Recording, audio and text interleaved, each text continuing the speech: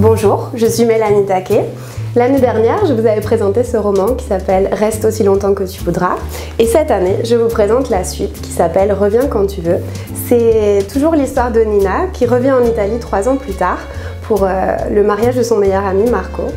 Et à travers ce voyage, finalement, leurs trajectoires vont se percuter, changer, diverger.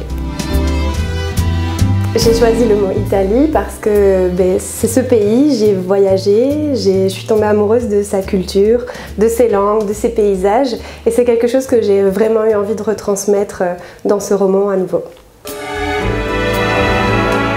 Amitié, parce que ce roman c'est à nouveau l'histoire d'amitié entre Nina et Anna et c'est une façon aussi pour moi de dire que euh, quand on est amis, on n'est pas toujours d'accord avec ce que font nos amis, on n'apprécie pas toujours certains comportements, mais au final, ce qui compte, c'est vraiment euh, l'amour que l'on peut avoir les uns pour les autres.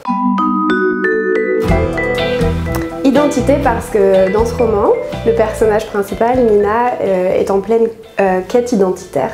Et son retour à Florence lui permet de finalement de venir questionner qui elle est et d'essayer d'avoir un petit peu plus de réponses. Trajectoire parce que finalement, il y a beaucoup de personnages dans ce roman, des personnages qui ont tous des trajectoires différentes, des trajectoires qui viennent parfois se percuter les unes aux autres. Personnages. Les personnages, c'est quelque chose de très important pour moi, c'est eux qui m'inspirent leur histoire, qui me la racontent.